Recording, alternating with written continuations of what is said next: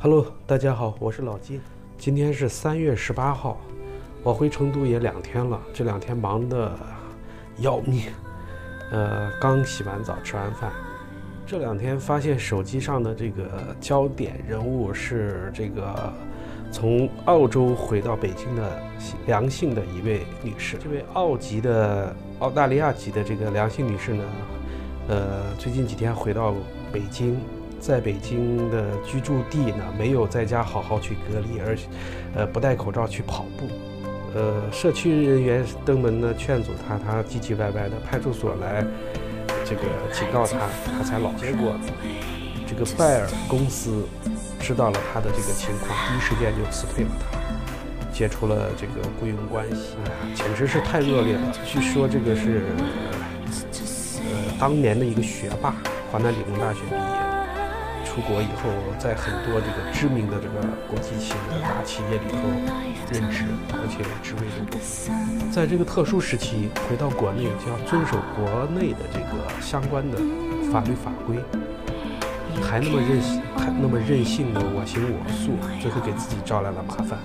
而且它的影响非常之大。在网上曝光了以后呢，今天我刚刚手机上翻到，看到这个北京对他的处理是。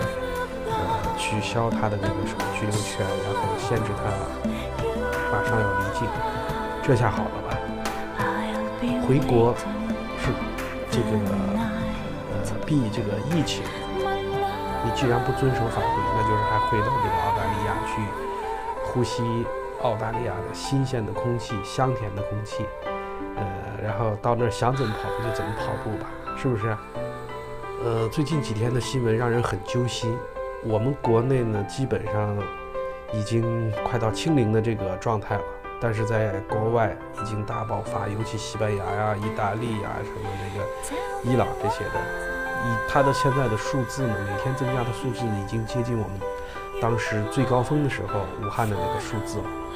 太吓人了，太恐怖了，而且很多国家是没有什么这个治疗和隔离手段，我们全国人。我们全国人民呢，针对这次疫情都付出了，可以说是付出惨重代价了。有些人付出的生命，有些人付出的是时间，还有很多人付出的是自己的，损失了很多的收入。但是呢，我们万众一心，终于把这个疫情扛过去了。希望国家呢把这个国门给看好，不要让这个输入性的这个患者来影响我们的生活。我们太难了，太不容易了，是不是啊，朋友们？不管怎么说，大家还是不要掉以轻心。嗯，该戴口罩戴口罩，能不出门尽量还是不出门，把这段时间给熬过。然后最后呢，祝各位朋友身体健康，然后就是疫情早点过去，我们也能恢复正常的生活。